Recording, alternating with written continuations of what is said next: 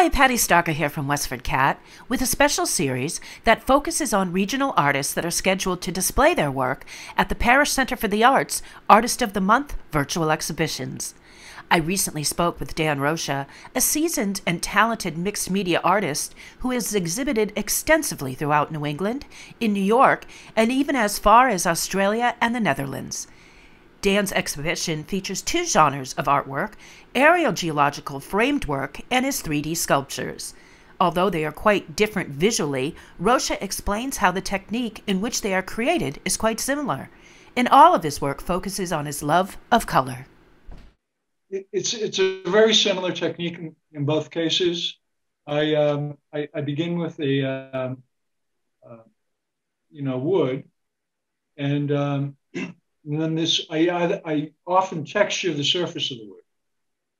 The texture of the surface of the wood, I prime it, then I size it, and then I silver leaf the entire surface.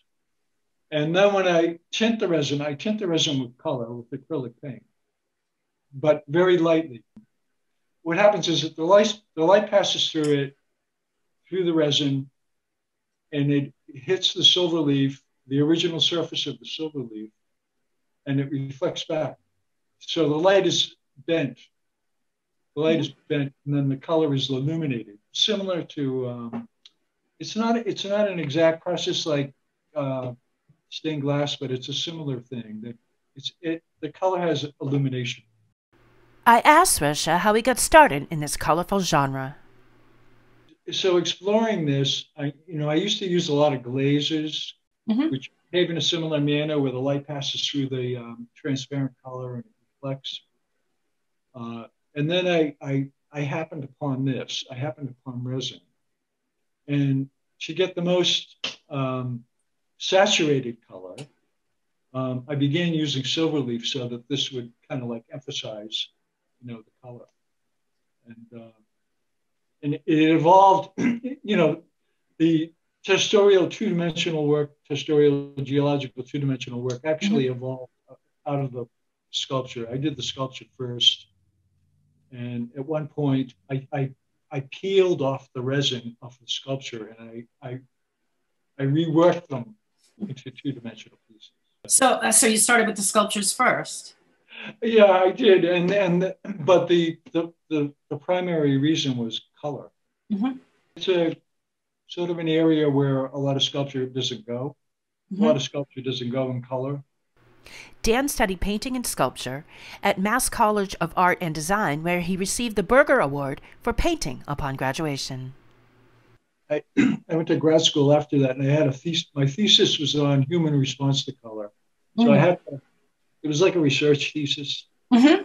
I had to write out a, a questionnaire, and then the respondents had this board of a poster of different colors. And I had, you know, which, you know, I had a bunch of questions in response to this color, these colors.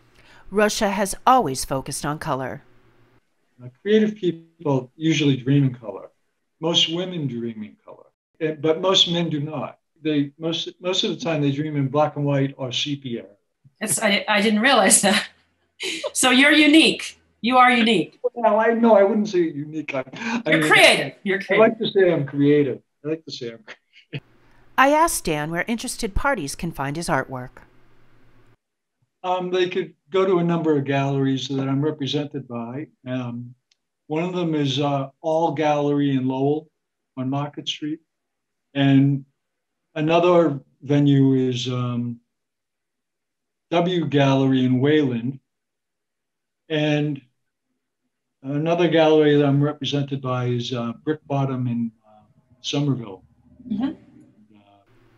His work is also available to view virtually and for purchase on the Parish Center for the Arts website. You can also reach Dan Rocha by email at drdr537 at gmail.com. He is also on Facebook and Instagram. All right, Dan, thanks a lot for joining me today. Take care. I appreciate it. Thank you very much for having me. For Westford CAT, I'm Patty Stalker.